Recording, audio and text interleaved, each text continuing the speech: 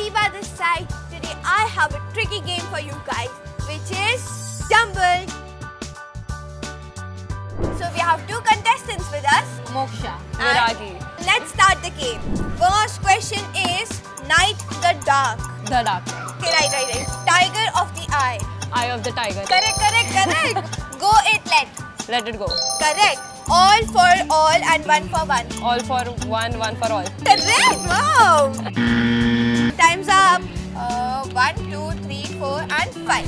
Three, two, one. Get a wimpy diary off. Pass. At once, everything, all, everywhere. Pass. The rings of the Lord.